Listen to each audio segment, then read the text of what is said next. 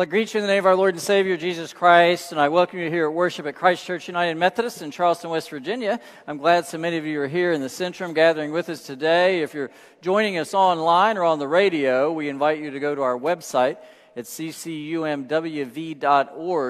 and there you can download a copy of the bulletin and the liturgies and announcements and things we'll be sharing in our worship today.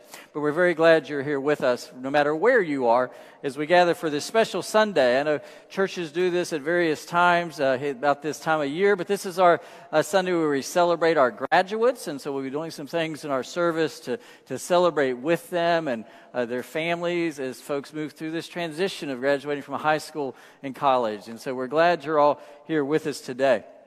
I wanted to call your attention to a couple of announcements.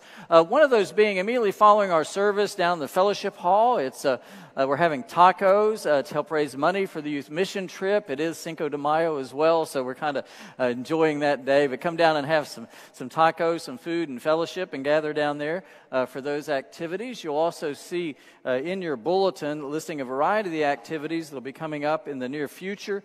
Uh, one of those is on the 19th. There's the Loving Remembrance Luncheon. If you'll remember, it's a new ministry. We started with one of our innovation grants to help meet the needs of families who've lost their children, particularly uh, in neonatal situations. And so we invite you to come to that luncheon to hear the speaker. Also, in the next couple of weeks, we'll, few weeks, we'll be having our uh, family night at the ballpark. Uh, we have tickets, and we have tickets for you to invite your friends uh, to come and join you. I know uh, Ashley's uh, put some energy into that, again, through one of our innovation grants. And so she can give you more information if you reach out to her uh, regarding that special time to be together. And of course, as we move into this coming summer, there's lots of activities. We've already had our first mission team through Cross Ministries was here last week. We have a nobody here this week, but in the weeks ahead, you'll see a lot of folks coming in and uh, going to work on houses through our partnership through rebuilding together.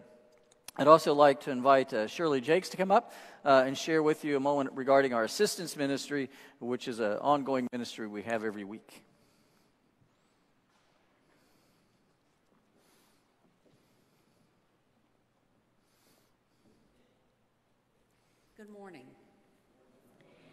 During the last month, the assistance ministry has helped many of our neighbors who have been in need. One woman worked two part time jobs, went to school, and cared for her four year old. Another lady who came had just recently moved back to Charleston to be near family after leaving an abusive situation. A man and his wife came who they had five children. During COVID, they had lost their contracting business and they have yet to be able to find adequate employment. You helped these people and they were grateful. I like to share with the people who come on Tuesdays that the money for this ministry comes from you. It's not a church budgeted item. I like to tell them it's because you care. You once again have an opportunity to place a donation in the offering plate, which will be at the door as you leave today for the assistance ministry or you can make a donation at any time by so designating it for that ministry. When you do this, you truly are receiving a blessing by blessing others and serving as the hands of Christ. Thank you. Thank you, Shirley, for all your work and your team and leading us in this ministry that meets the needs of our neighbors who are going through some difficult times and need some assistance. And thank you for your generosity, uh, all of you, for in supporting that ministry. We serve quite a number of folks each year uh, through this program. But now, as we move into our time of worship, I invite you to center yourselves wherever you are, those of you here in the Centrum and those of you uh, online or on the radio, and let us all worship God together on this very special day.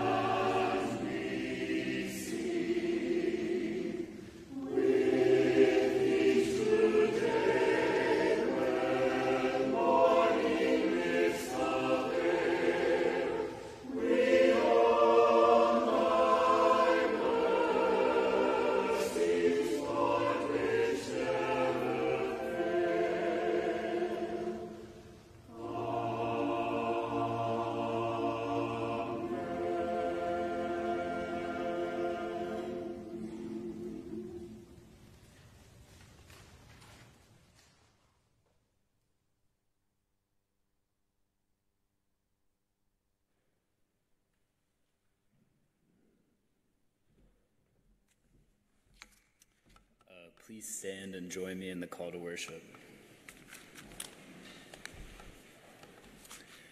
Chapters end, new ones begin. More school or new work or something completely different. Endings carry the seeds of new possibility. Endings are never the last word in God's eyes. There is grace surprising us, resurrections freeing us hope reviving us, life calling us, music lifting us. Praise God for endings and beginnings.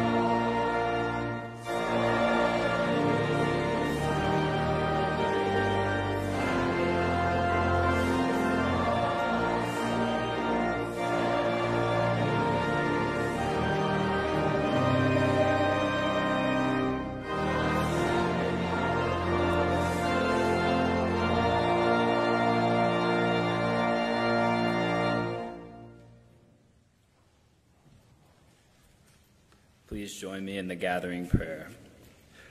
Loving God, you create life from the earth on which we dwell and breathe into it new life and meaning.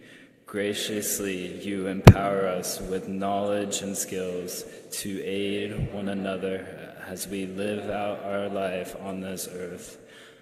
Bless our gathering this morning as we recall your grace and kindness to these young lives and celebrate the endings and beginnings of our needs you provide. Empower us all to live lives worthy of the callings you offer, that we may strengthen one another and your creation as we walk together with you through this life. In Christ Jesus' name we pray. Amen. The peace of Christ be with you, and also with you. Let us share in signs of reconciliation and peace.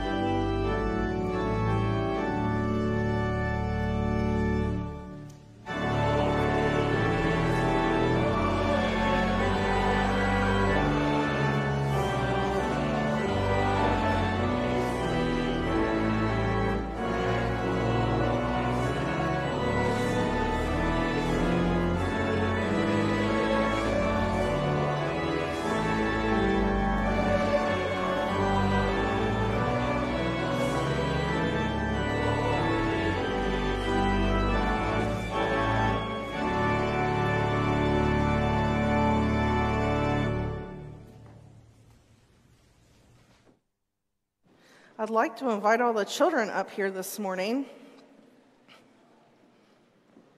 Come on, David, Meredith, I know you guys are here. I saw Charlotte somewhere. Don't be shy. Good morning. Good morning. It's graduation Sunday. Are you guys my graduating seniors? Hello? You're, you're, you're not the high school kids, right? No? So the high school kids have a big transition to make, right? They're going to college. Did you know you guys have a transition this year too? What grade are you going to be in next year? Second. Second. Charlotte, what grade are you in next year? Second. So, were you guys in second this year? So, you're moving up as well, right? I go to Montrose and I'm six. Okay. I'm going to third grade. You're going to third grade. You're in second now?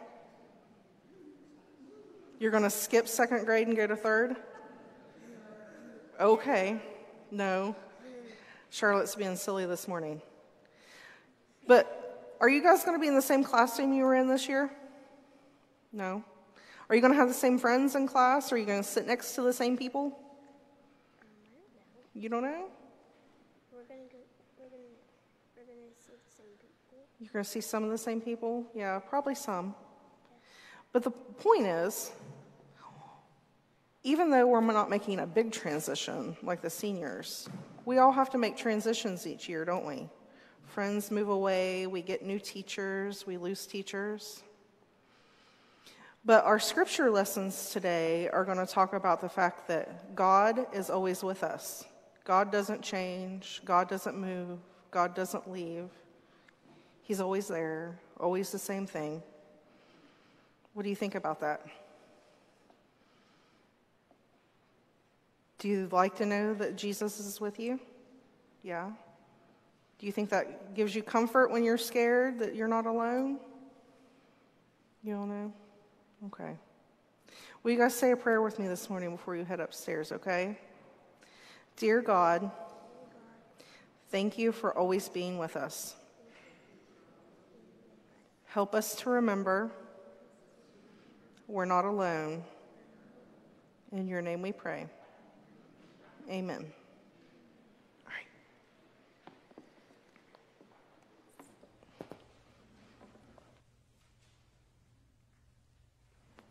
Thank you, Ashley. Now, as we come to our time of prayer, I uh, lay on the altar table uh, the prayer concerns. Those of you that have joined us in the Centrum have written down as you've come in and throughout the week. If you're joining us online, uh, you can share your prayer concerns through the chat feature uh, on the online feed.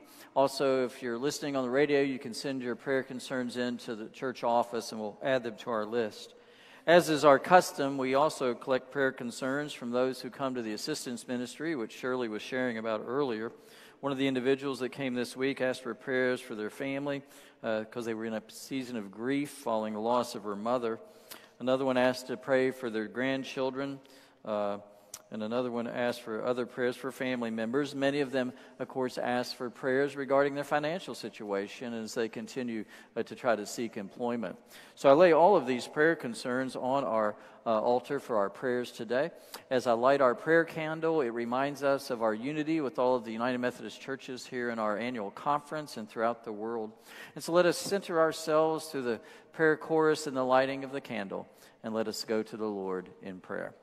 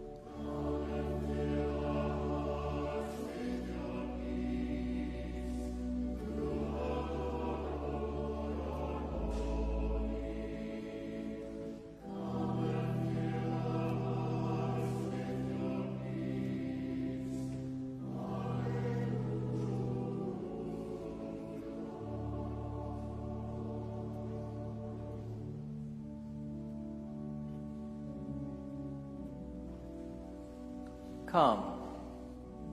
Come, O gracious and loving God. Come. Come fill your children with your love. Fill us with your grace. Fill us with your peace. As we gather today, we come in thanksgiving.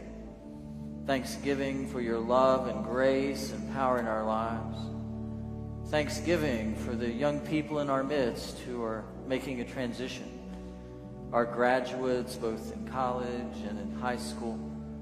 And we pray that your loving grace, of course, would be with them, carrying them through this change in their lives as they move from one means of education to another or to the world of work. For God, we know you are one who joins us at all the thresholds of life. And so we pray that you would be with us as we move through this threshold. We give thanks also for parents and others who've nurtured and carried these young ones to this place in their lives. We give thanks for your church, this church that nourishes us and strengthens all of us, a church that is also going through transition. We pray for our church as we move through these times of change with new legislations and structures and things coming in the weeks and months ahead. And we pray that you would be that light shining, giving us grace as we move through this time together. We pray for our sisters and brothers who are ill or in mourning, praying for your love and peace to, surround them and to carry them and to strengthen them. We pray also, O oh God, for your world, this world that seems so filled with strife and war and hardship, but a world we know that you called good. For indeed, you want it to be a place of peace, of that great shalom through, that comes through you. So help us, O oh God, to be builders of that shalom, this kingdom of God, as we share with our sisters and brothers and lift one another up. And we ask it as always in Jesus' most holy name. Amen.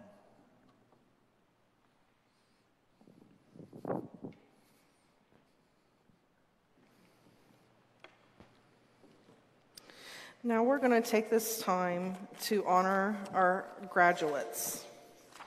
As I call your names, please come forward.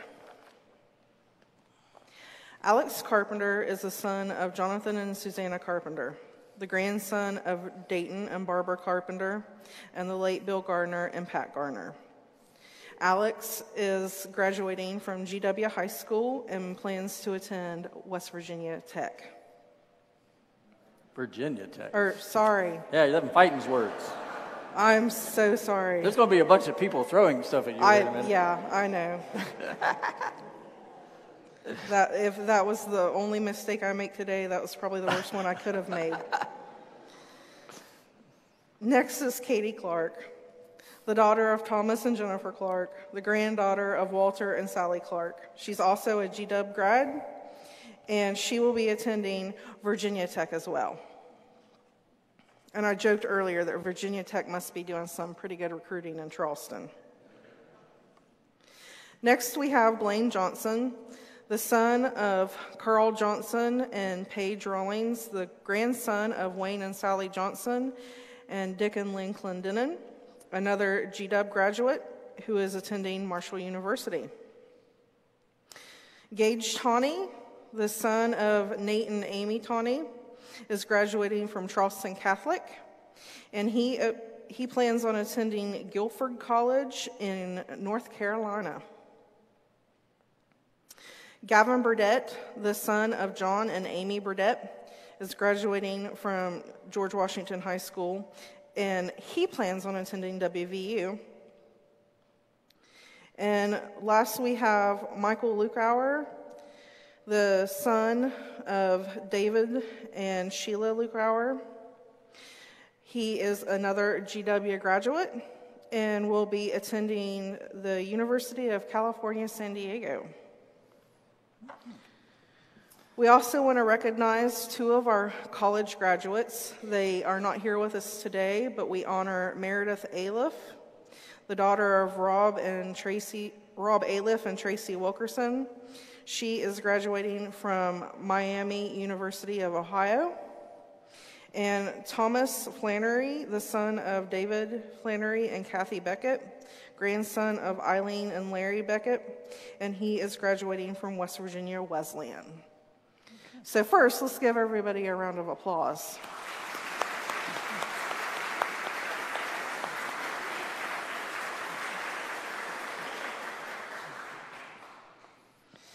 Now, all the, gra- the high school graduates today uh, received a walking stick and a Dr. Seuss book, All the Places You Will Go. So I thought it was really funny whenever I came here last year and that I, I saw that this was our graduation gift. Uh, most churches give out a Bible, and I mean, I get it, but this is really cool. Um, I'm really glad that um, Christ Church does something like this. Uh, the Dr. Seuss book, The Places You'll Go, to remember to um, keep your youthfulness and take it with you, all the places that you're going to go but also the walking stick um, as a symbol of your church um, being your walking stick in life. We can't go with you to college. I'm sure um, moms and dads would love to go, but uh, sadly, none of us can go with you. But this is something you can take with you for support and encouragement as a constant reminder that the love and the support and encouragement you have back home. So, if everyone would just take a moment, and I ask that you reach um, a hand forward, and we're going to say a prayer over the graduates. Heavenly Father, we come to you today and give thanks for these young children. They're becoming adults and they're moving on and starting new chapters. They're leaving home, they're doing new things. It's exciting and scary all at the same time. Lord, we know that no matter where they go or what comes their way, that you're with them.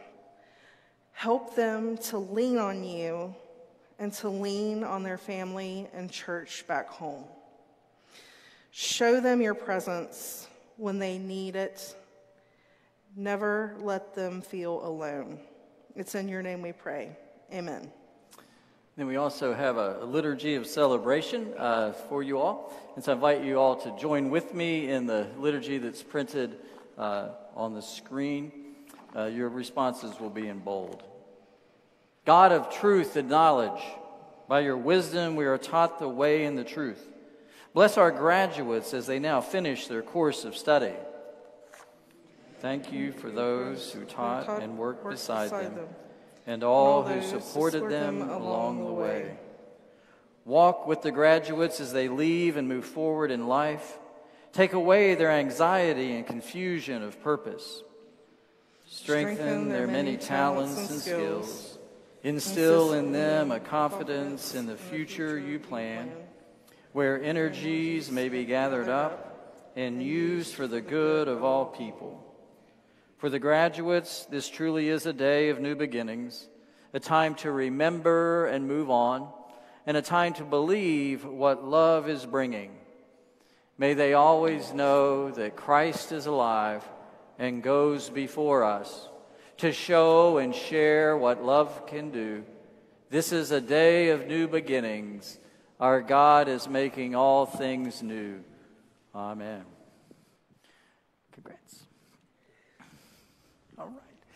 I know. You can go back and sit down now. Blessings. Good to see you guys.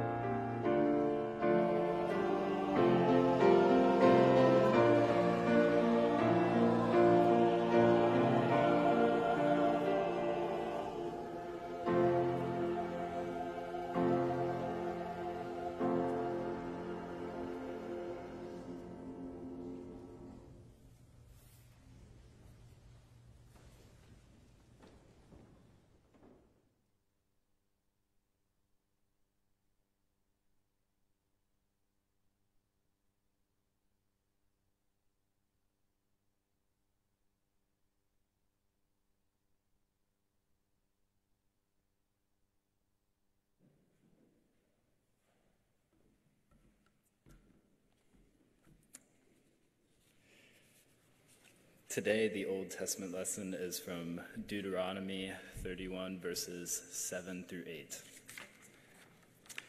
Then Moses summoned Joshua and said to him in the sight of all Israel, Be strong and bold, for you are the one who will go with, with this people into the land that the Lord has sworn to their ancestors to give them, and you will put them in possession of it. It is the Lord who goes before you. He will be with you. He will not fail you or forsake you. Do not fear or be dismayed.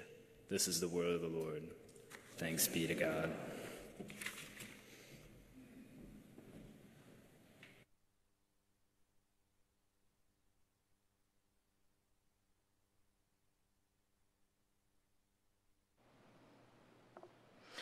Our gospel lesson today comes from the book of Matthew, chapter 28, verses 16 through 20. Sorry, please rise for the reading of God's word. Now the eleven disciples went to Galilee to the mountain to which Jesus had directed them. When they saw him, they worshipped him, but some doubted. Jesus came and said to them, All authority in heaven and on earth has been given to me. Go therefore and make disciples of all nations baptizing them in the name of the Father, the Son, and the Holy Spirit, and teaching them to obey everything that I have commanded you. And remember, I am with you always to the end of the age. This is the gospel of our Lord Jesus Christ.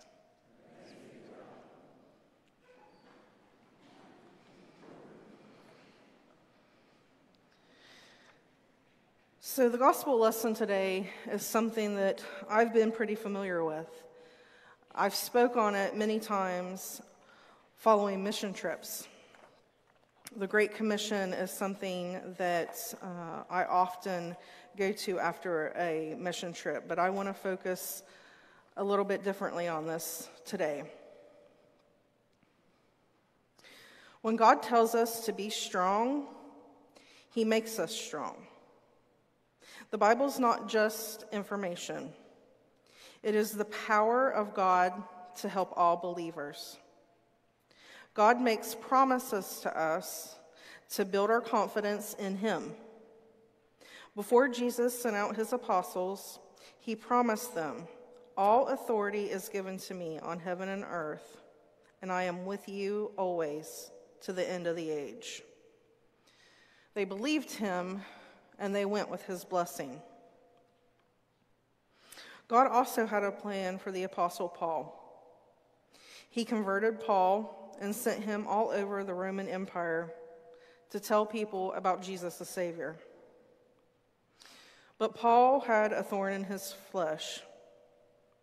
He prayed that God would take it away, but God said to him, My grace is sufficient for you.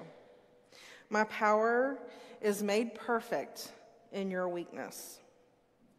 Paul responded, I will boast all the more gladly about my weaknesses, so that Christ's power may rest on me. It's the same with all of us. God will challenge us with problems or difficulties come up in our lives. He allows these things to help us realize our need for Him. His power has no limit. We are doing, when we are doing His will according to His word, God will accomplish great things for His kingdom. Just like with Joshua, he followed God's plan against Jericho. God made the walls fall flat and gave him the city to conquer.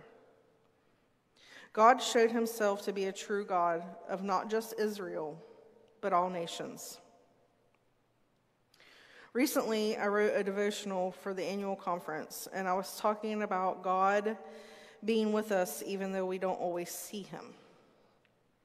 I wrote that we often perceive God as an old grandfatherly figure, but I like to think of God more as a young parent who has recently baby proofed the house and is letting us roam and explore our surroundings.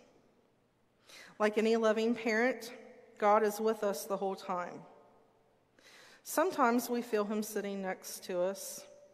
Sometimes we as children think that He's looking the other direction, and that's usually when we get ourselves in trouble. Like any good parent, God knows that we need to be given a chance to work some things out on our own. This is how we learn and grow. He gave us gifts and abilities, and He wants us to use them. I know you've all heard the old cliche God will never give you more than you can handle. This is often spoken to graduates, young parents, people that are going through changes in life or hard times. But the Bible never says that. We're told in Scripture that God will be with us if we are faithful, and He will equip us for what is needed. Oftentimes, when we speak to graduates, we speak of hope, freedom, and wonder. While all of that is great, it's also to be noted that life isn't always perfect. Sometimes we, be, we need to be ready for when things happen. So many young adults are going out into the world for the first time. And let me let you in on a secret you're going to fail a lot. We as parents try to prepare you prepare our children for what life throws at them. But even sometimes we miss the mark. When my son went into the military right out of high school, like so many other airmen in his unit, they didn't always know all the skills that they needed. We had a mother's group where the mothers would chat and share stories with one another, comfort each other. One day, a lady was in our group and she was talking about how the dryer had caught fire in her son's unit. None of the young men in this unit knew that you had to clean out the lint trap in the dryer. All the mothers were warning the other mothers to make sure they told their children that this task needed to be done.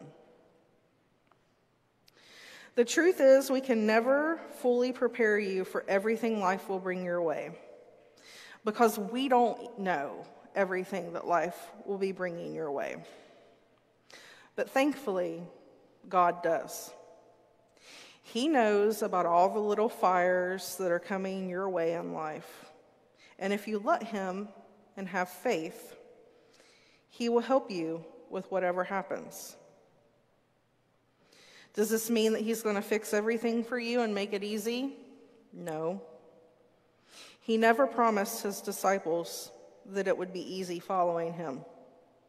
He promised them that He would be with them. This is a huge difference than what we often expect as Christians. As young people, sometimes you can get in a hurry to grow up. Sometimes you may think you know everything already and you're ready to face the world. But today I tell you to not be in such a hurry. As a matter of fact, some of us grown ups here need a reminder of this too. If you've ever seen me running around the church, I have a shirt that says, Jesus wants us doesn't want us to act like adults. He gets us. This is from a movement of young Christians. You may even have seen some of their ads during the Super Bowl. The phrase, Jesus doesn't want us to act like adults, he gets us, is a simple line loaded with misdirection, just like Jesus' teachings often were. On multiple occasions, Jesus would use the term childlike to refer to a humble and trusting gratitude. In one instance, he told a group of followers, Unless you change and become like little children, you will never enter the kingdom of heaven. The Christian notation of ultimate eternal life and fulfillment, this is what we strive for. But it's a very countercultural message to the people that would have heard Jesus. Children were not regarded the same way as they are today. Sure, they were loved by their families, but according to scholars, Most children didn't survive to the age of 14. Also, society treated the children more like property rather than people. So, what did Jesus mean when he told us to be like children?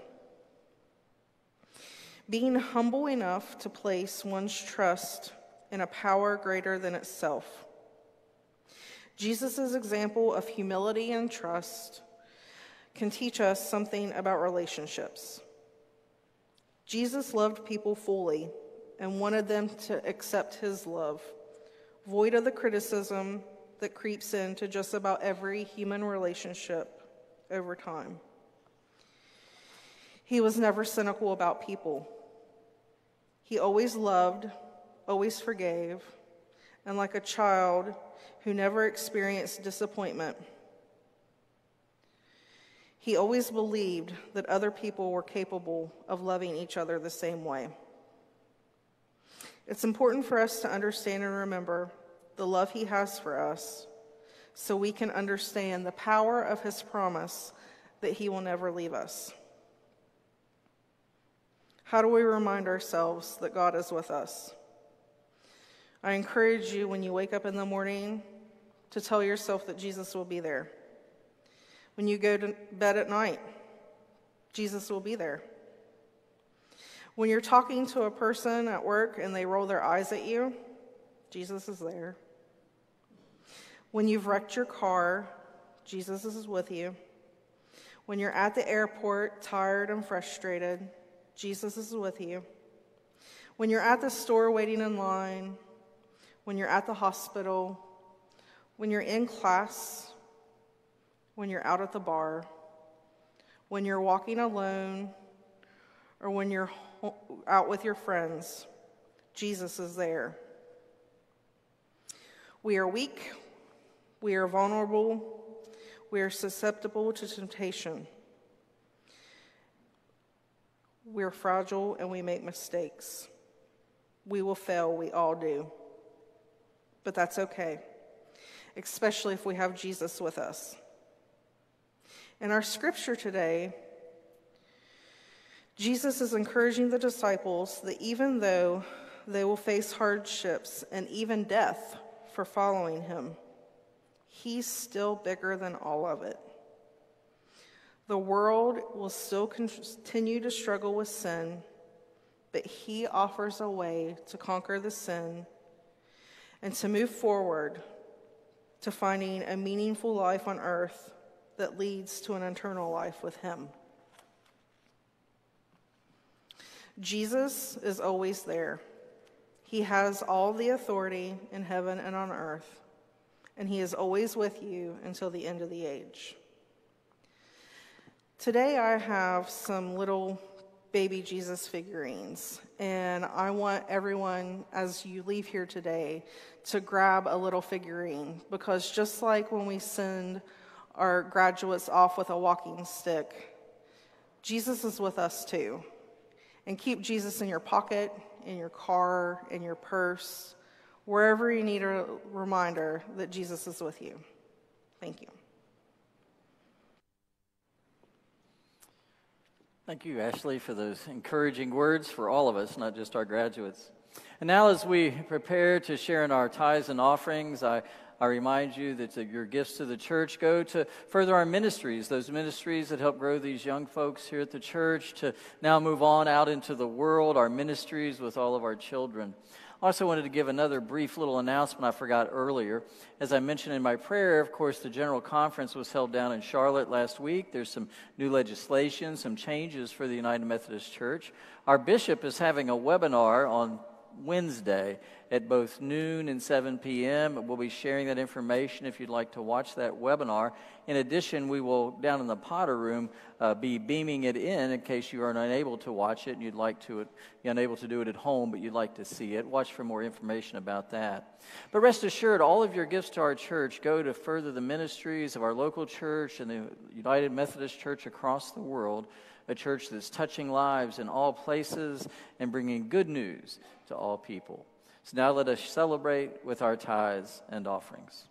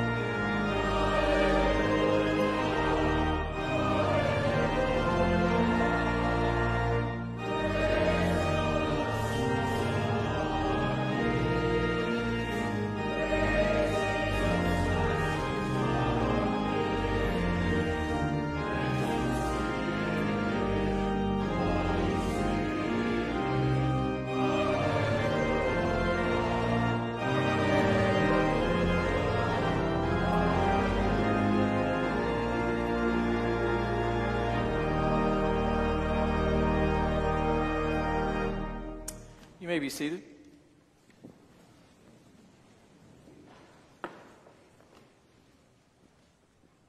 invite you now to join with me in the great thanksgiving as we prepare to share in the sacrament together. The Lord be with you. Lift up your hearts. Let us give thanks to the Lord our God. It is right and it's a good and joyful thing, always and everywhere, to give thanks to you, Almighty God, creator of heaven and earth. You formed us in your image and breathed into us the breath of life. When we turned away and our love failed, your love remained steadfast. You delivered us from captivity. You made covenant to be our sovereign God and spoke to us through your prophets who looked for that day when justice shall roll down like waters and righteousness like an ever flowing stream. When nation shall not lift up sword against nation neither shall they learn war any more. And so, with your people on earth and all the company of heaven, we praise your name and join their unending hymn Holy, holy, holy Lord, God of power and might. Heaven and earth are full of your glory. Hosanna in the highest. Blessed is he who comes in the name of the Lord. Hosanna in the highest. Holy are you, and blessed is your Son, Jesus Christ. Your Spirit anointed him to preach good news to the poor, to proclaim release to the captives, and recovering of sight to the blind, to set at liberty those who are oppressed, and to announce that the time had come when you would save your people. He healed the sick, fed the hungry, and ate with sinners. By the baptism of his suffering, death, and resurrection, you gave birth to your church, delivered us from slavery to sin and death and made with us a new covenant by water and the Spirit. At his ascension, you exalted him to sit and reign with you at your right hand. On the night in which he gave himself up for us, he took bread. He gave thanks to you, and he broke that bread, and he gave it to his disciples, and he said, Take, eat, for this is my body, which is given for you. Do this in remembrance of me. And after supper, he took the cup. He again gave thanks to you, and he gave it to his disciples, saying, Drink from this, all of you, for this is my blood of the new covenant, poured out for you and for many for the forgiveness of sins. Do this as often as you drink it in remembrance of me.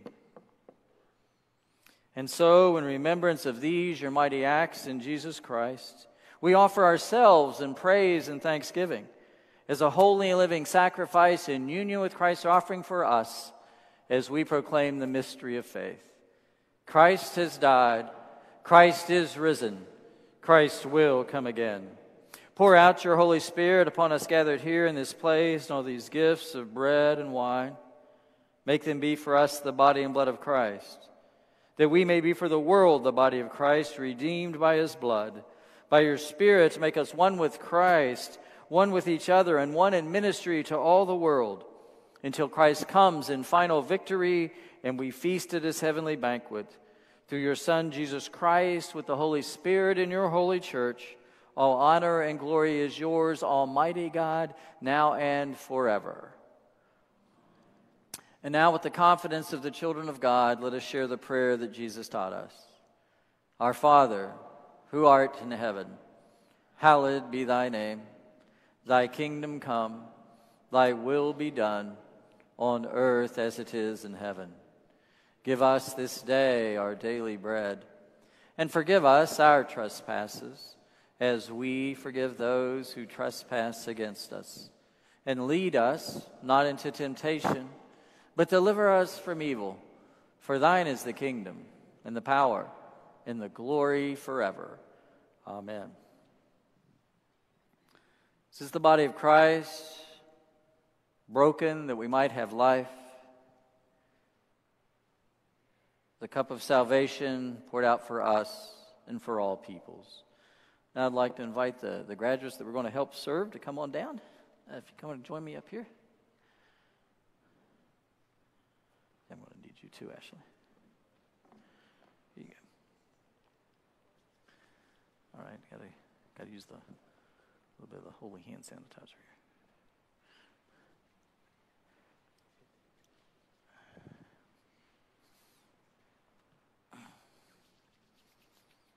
Okay. So here you go. Okay. I want y'all to stand right here. Okay. Okay, you got it. Okay, Ashley, you and I will serve the choir.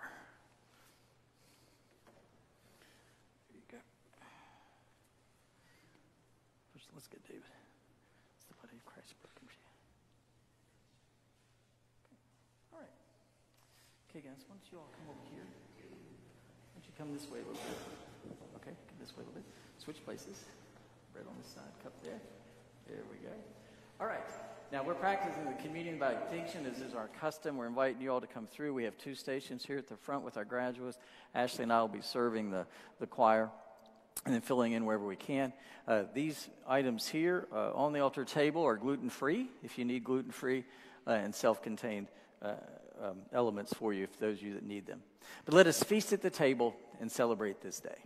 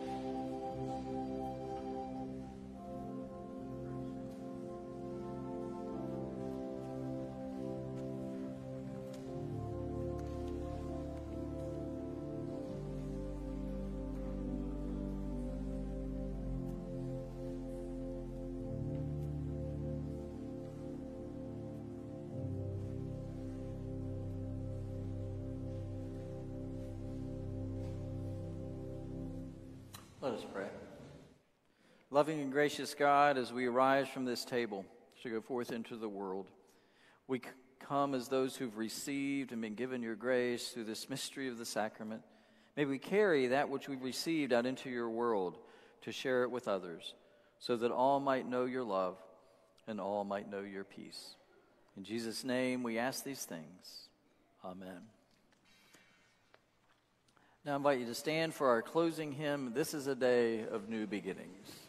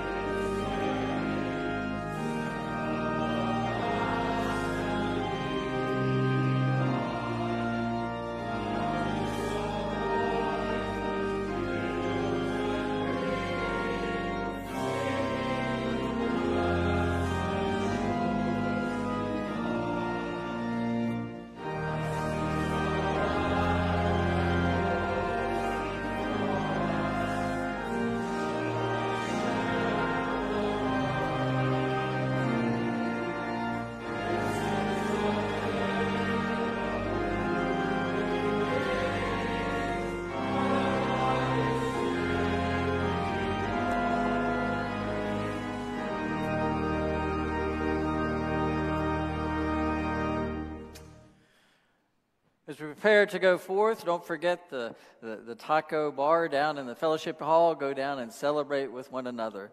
But now let us go forth into the world knowing that Jesus is with us. And my guess is Jesus is always there ahead of us and begging us to come follow him wherever he leads. Go in the name of the Father, the Son, and the Holy Spirit. Amen.